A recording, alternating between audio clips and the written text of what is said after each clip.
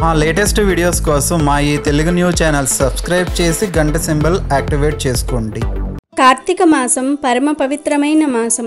శంకరుడికి ఎంతో ఇష్టమైన మాసం. ఈ మాసంలో అనేక నియమాలు పాటిస్తూ ఉంటారు. ఆ నియమాల విషయంలో అనేక సందేహాలు కూడా వస్తూ ఉంటాయి. కొంతమందికి ప్రతిరోజు ఈ మాసంలో తలస్నానం చేయాలా అనే సందేహం వస్తుంది. కార్తీక మాసంలో ప్రతిరోజు తలస్నానం చేయాలని శాస్త్రం చెప్తుంది. కార్తీక మాసంలో ప్రతిరోజు పారే నీటిలో స్నానం చేయటం మంచిది. ఎందుకంటే శరత్ కాలంలో నీటి యందు గంగా కొలువై ఉంటుంది.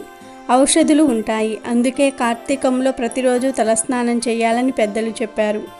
కానీ అందరూ కూడా నదుల దగ్గరికి వెళ్ళే స్నానం చేయలేరు. కనీసం పర్వదినాల్లో అయినా సరే నది స్నానం ఆచరిస్తే మంచిది.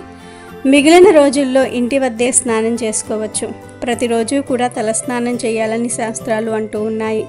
అది కూడా తలకు నూనె రాయకుండా చేయాలని నియమం. కానీ అలా నూనె రాయకుండా నెల రోజులు తలస్నానం చేస్తే కొంతమందికి తలనొప్పి వస్తుంది మరి కొంతమందికి అనారోగ్యం చేస్తుంది.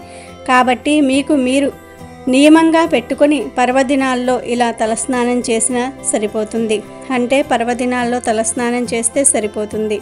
మిగిలిన రోజుల్లో అభ్యంగన స్నానం చేసినా దోషం ఉండదు. మనకు అనుకూలమైన వాటిని మనం చేయగలిగిన నియమాలు పాటిస్తే సరిపోతుంది.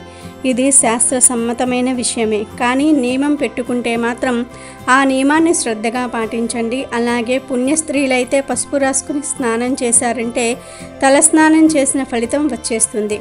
కార్తీకంలో భర్త ఉన్న స్త్రీలు తలకు స్నానం చేసినా చేయకపోయినా చిటికెడు పసుపు రాసుకుని స్నానం చేశారంటే తల స్నానం చేసిన ఫలితం వస్తుంది.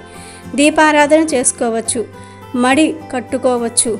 పుణ్య స్త్రీలు కార్తీకంలో ప్రతిరోజు తలకు స్నానం చేసేందుకు అవకాశం ఉండదు కనుక తప్పనిసరిగా ఇలా పసుపు రాసుకునే స్నానం చేయండి.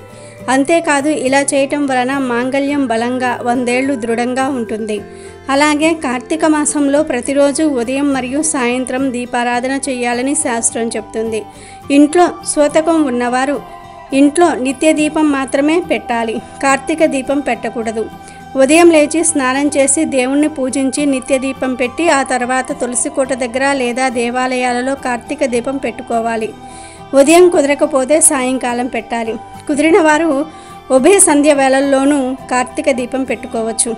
ఈ నియమాలన్నిటినీ చెప్పిన శాస్త్రమే వెసులుబాటును కూడా చెప్పింది. కాబట్టి మీ వీలును చూసుకుని కార్తీక నియమాలను పాటించండి. మీరు చేయగలిగినంత చెయ్యండి. అంతేగాని బాధపడుతూ అస్సులు చేయవద్దు. ఉల్లి వెల్లుల్లి మాంసాహారం ఈ మాసంలో తినవద్దు. కుదిరితే నేల మీద పడుకోండి లేదంటే మంచం మీద పడుకోండి. ఇలా మీ వెసులుబాటును బట్టి కార్తీక నియమాలను పాటించండి. వీడియో నచ్చితే లైక్ చేయండి షేర్ చేయండి. బట్ సబ్స్క్రైబ్ చేసుకోవడం మర్చిపోవద్దు.